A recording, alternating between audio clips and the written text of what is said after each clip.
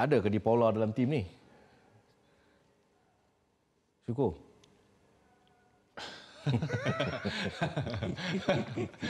uh, sebenarnya hilang. Hilang. Uh, bagi saya dia hilang. Hilang hmm. dalam second half ni kita tak nampak pun apa yang di Paula membantu tim daripada segi honest apa yang saya kita lihat daripada separuh masa kedua. Zam? Tak tak tak berfungsi ya untuk untuk separuh masa kedua di Paula. Syafiq Ahmad. Uh, kemasukan Syafiq Ahmad kita nampak ada gerakan-gerakan dan satu yang uh, bagusnya Syafiq Syafiq Ahmad ni yang kita lihat ialah dia dia ni ada satu benda yang dia komitmen, dia komitmen, hmm. dia cuba, dia cuba. Apa yang kita lihat dia mengamuk pasal dia pergi pressing uh, karakter, karakter dia, dia ada drive tinggi lah. Dia punya keinginan tinggi, lepas tu dia mobile kan. Hmm. Tactically dia dia pergi masuk dekat apa second, second man running bila dia Paula masih kat situ. Nah. Kan tak ada buat apa so alone berseorangan lah. Okay. Siapa? Uh, Syafiq. Syafiq Ahmad. Kepada Syafiq Rahim yang syukur hampir nak sebut nama dia tadi. Uh, dia ingat nama awak. Pot. Dia ingat awak cepot. Okey. Baik. Um, gol-gol yang dihasilkan, kita berjaya mengekang dalam kedudukan yang baik. Kemudian bermula dengan separuh masa yang kedua. Ada petanda positif. Itu realiti ya.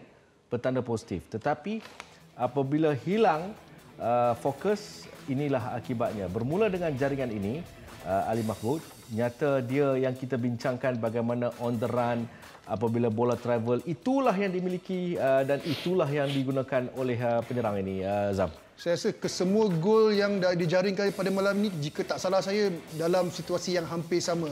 Dia memandang ke arah gol kita, berlari ketika bola dihantar, meninggalkan pertahanan lawan, prestasi yang baik seperti kita lihat dalam gol ni menghantar bola di atas kepala penjaga gol kita Farizal Malias. Saya rasa ini teknikal dan juga kualiti yang ada pada Ali Mabuk. Okey, sambil anda saksikan jaringan-jaringan ini, saya tertarik syukur masa kita duduk masa game tak ada crossing-crossing yang dilakukan oleh pasukan UAE syukur. Ini yang kita lihat uh, negara Arab ni. Negara Arab ni dia uh, suka masuk dalam D-box hmm. untuk menjadikan gol.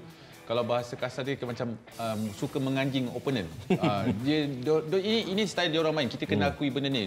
Realistik dia inilah UAE. Hmm. Apa yang kita lihat banyak penetrate datang semua daripada middle third. Uh, apakah uh, pertukaran ideal itu ada sedikit terjejas dari segi uh, backline uh, Zam? Uh, saya saya question goal yang ini yang ketika uh, di mana posisi uh, junior ketika ini. Ketika seperti dia berada di belakang line okay. kan? Dia di belakang line. Dan membuatkan Ali Mahmud masih lagi dalam kawasan bermain. Mm. dan um, sayang eh, saya rasa posisi Dion Cole tepat. Tetapi uh, posisi uh, junior berada di belakang. Sebenarnya Ali Mahmud ni uh, Ali Hamid Mahmud ni kita tidak boleh uh, leka untuk uh, macam kita tak organize nak tengok dia pasal player ni dia ada satu insting yang akan menjadikan gol apabila defender akan membuat mistake ini yang selalu berlaku dalam second half dia bukanlah dia buat move-move yang banyak tapi dia tahu insting dia bila dia nak pergi forward untuk menjadikan gol Semuanya hari ini tak kira apa part pun. Okay? Tak kira lah dia seorang pemandu teksi, uh, dia seorang ustaz sekalipun. Semua memberikan tumpuan. Tetapi realitinya, kita harapkan tidaklah seperti uh, apa yang dipamerkan. Saya berikan uh, kata khusus ini kepada pemain-pemain neutralisasi khususnya di Paula yang uh, saya rasa uh, umpama lebih baik tak ada daripada ada. Sebenarnya bila kita mewakili negara ni pernah alami benda-benda yang mengaibkan apa semua tapi bila kita bersembang tentang neutralisasi yang kita diberikan untuk kita carry bendera. Kita carry bendera Malaysia ni tanggungjawab kita sebagai pemain kita tahu macam mana maruah kita uh, terletak dekat mana. Jadi bila kita dibagi peluang untuk menjadi pemain internasional, kita kena extra effort daripada, daripada pemain lokal. Itu yang paling penting. Tapi masuk Syafiq tu saya rasa lain sikit. Uh, bergerak. Hmm. Uh, kerana mobility. Kerana dalam bola sepak ni, jika kamu statik, jika saya ada bola, saya akan pastikan kamu ke kaki. Tapi jika kamu berlari, saya akan kamu ke space. Bila kamu ke space, pasukan akan bergerak. Tapi jika ke kaki, di Paula bukan tak bagus tapi ada kali kita fikir dia seperti saya nampak dia sangat malas lah. Hmm. Saya saya tak suka bercakap buruk sebenarnya tapi saya rasa dia agak itu realiti satu ya. kita tengok di di kaca TV kita tahu bahawa dia, dia, ini realiti ya. kok.